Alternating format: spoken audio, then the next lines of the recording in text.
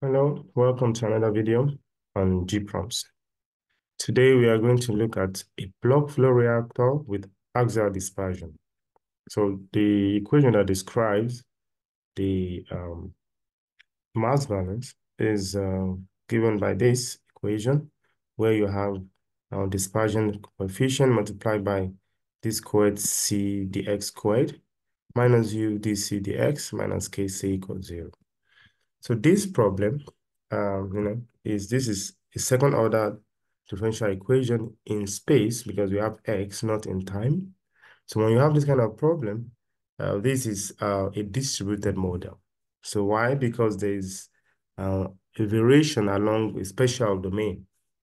So there is variation in space, um, not in time in this case. So when you have just time dependence of variables, so when you have derivative with respect to time only in your model, you have um, a lumped model.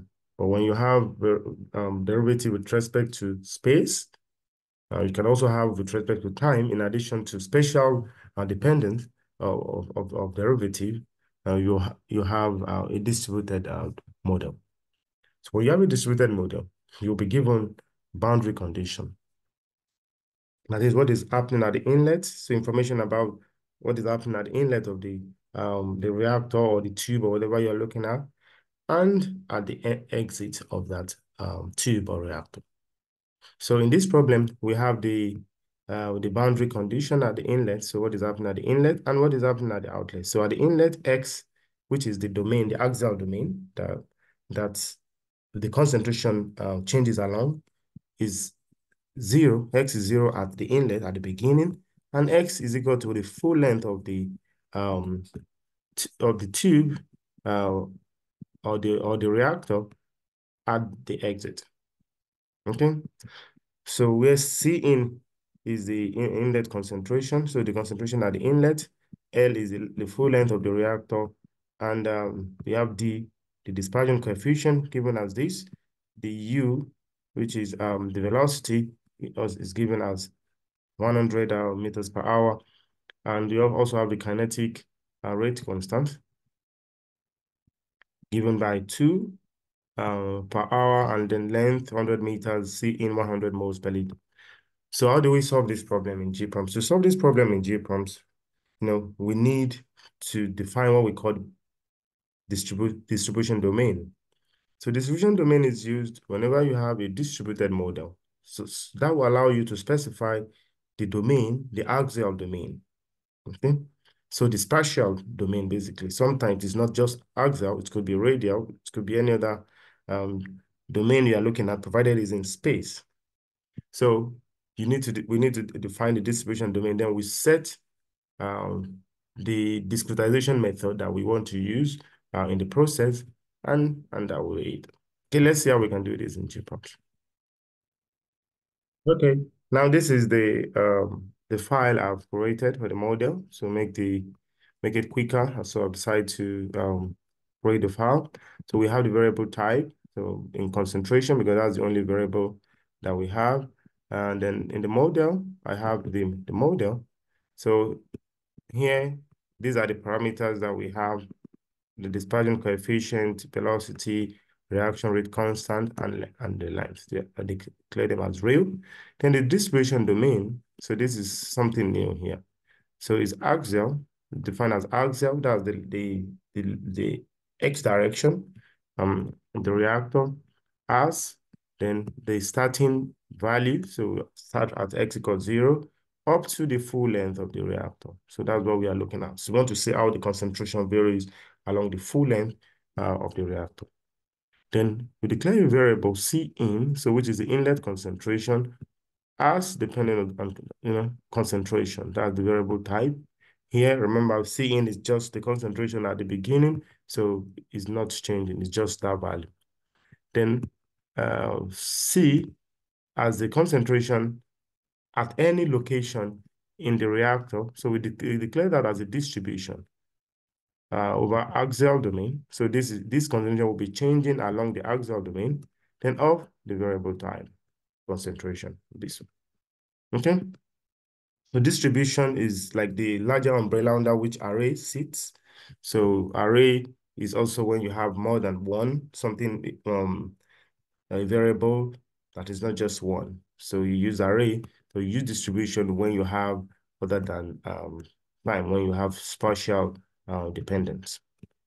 Now, the boundary conditions given in the equation, you have the velocity multiplied by C in at the inlet. So the main thing you want to remember here is at the inlet, uh, x equals zero. So we specify x equals zero. You must always do that because C is a distribution on the axial domain. Anytime we use C in an equation, we must indicate the location where we are. So that's why, but if we are looking at everything along the length, so we just put uh, something that, that keep track of the position um, where we are.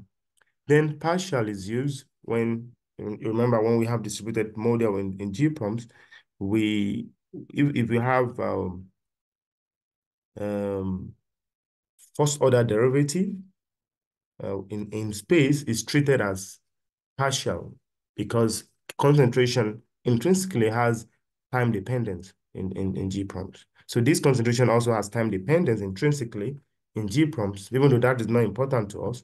So that is why GPROM would treat C as having dependence in time by default. So any other dependence it has will then make it partial in GPROM. So that's why we use partial keyword. So partial, then C at x equals zero, then axial. So it does with respect to the axial domain. Remember, it's dc dx. Okay, then the outlet CL. So we are using L at the outlets because X corresponds to L, the full length of the reactor at the outlet. So the derivative with respect to X equals zero at the exit.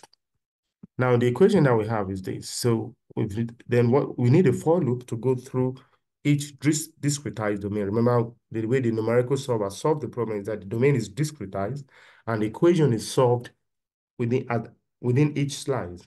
Okay, so this Z is an iterator that goes through each slice of the domain, but excluding the um, the inlet.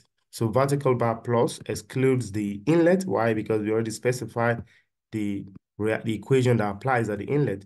Then vertical bar minus eliminates uh, the outlet. That's CL. So this location, because we already specified uh, what is going to happen at that location. Okay, then we write the equation, d partial. To remember, we have second order derivative, so that's why axial is used twice here. So z is specified because we are tracking different locations along the length of the reactor. Then cz axial. The say, you know, this is just uh, first order in the equation, in the problem statement. So k cz equals zero. So this is the equation. Now let's go to this is the model to the process, uh, the first thing to do is to create a copy of the of the model. So an instance of the model, which we call reactor here, set all the parameters. This is quite easy. The only thing that is new here is that uh, we need to set the, the axial domain that we created in the model. So we are saying that we need to use backward finite difference method with order one and 50 points. So order one is fine because it's a simple model.